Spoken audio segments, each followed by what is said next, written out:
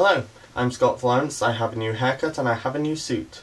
This channel is really just me keeping you up to date with the latest science news and explaining some science.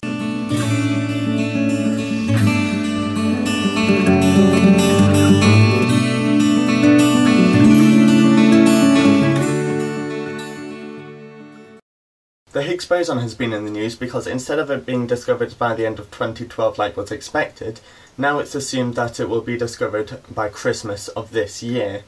It was originally theorised in 1964 and it's expected to be discovered by the scientists at the Large Hadron Collider, which I'm going to in October. It was originally theorised in 1964 and to explain what it is I need to first explain what a Higgs field is. The Higgs field is a field that exists everywhere and it gives every particle mass. And what a Higgs boson is, which has been in the news, is it's a quantum of the Higgs field, just like a photon is a quantum of electromagnetic radiation.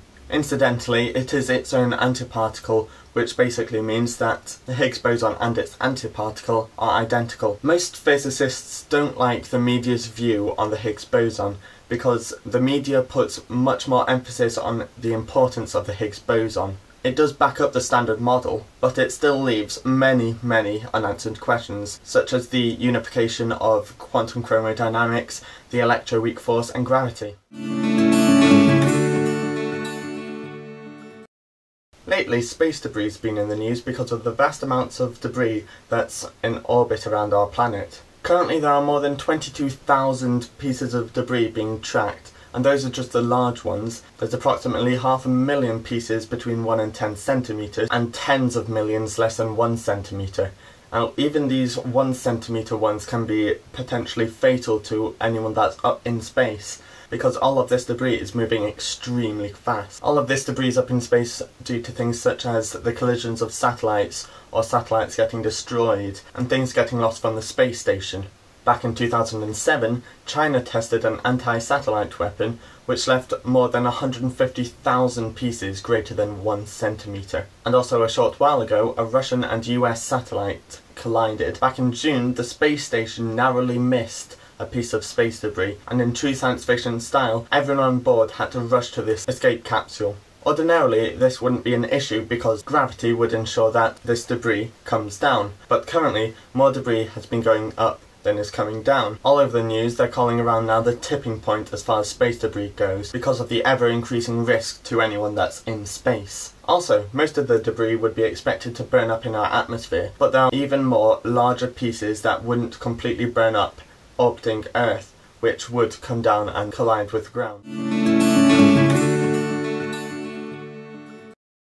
Special relativity is Einstein's modification on Galileo's theory of relativity, and what it basically is, is the physics of moving objects in relation to stationary objects. Now the key aspect of it is that the speed of light is constant, meaning it's the same for all observers, about 671 million miles per hour. To understand what this means, the best way to think of it is by imagining a light clock. A light clock being something that measures time by bouncing photons between two plates, and for every so many bounces, depending on the distance between the two plates, that's one second. Now when stationary, it just bounces up and down and everything is normal.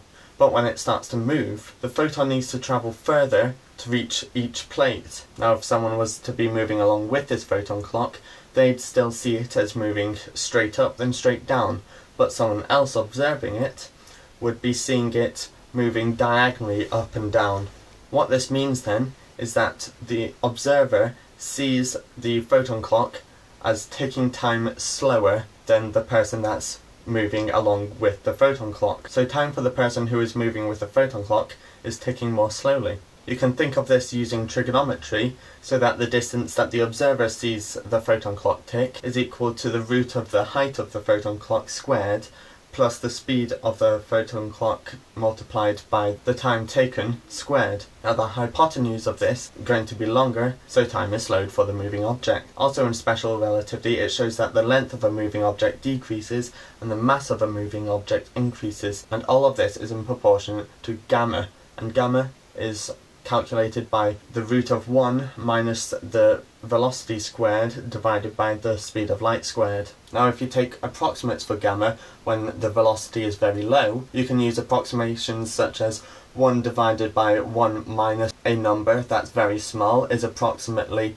1 plus that number and the root of 1 minus another number that's very small is approximately 1 minus half of the small number. Now when we're moving at low speeds in proportion to the speed of light, which for us has been all of the time, if you look at the mass increase, the usual equation is the mass of the moving object equals the mass of the stationary object multiplied by gamma, and that goes to the mass of the moving object equals the mass of the stationary object multiplied by 1 plus half of v squared over c squared. Now if you multiply all of that by the speed of light squared, you get the mass of the moving object multiplied by the speed of light squared equals the mass of the stationary object times the speed of light squared plus half of the mass times the velocity squared. Half of a mass multiplied by the velocity squared is kinetic energy. And as that's a type of energy, both of the other parts of the equation must be a type of energy. That means that the energy of a moving object equals the energy of the stationary object plus its kinetic energy. And before you know it, you've proved that the energy equals the mass times the speed of light squared of any object that is stationary. All comments are appreciated, so I'd like to thank MM Fire and BTR Messiah for their comments. Also, BTR Messiah is a good friend of mine and fellow YouTuber, so if you're interested in any of the Battlefield games, check out his channel which I'll link to you here. I'll be doing these every Monday, so please comment and subscribe, and I'll see you next week.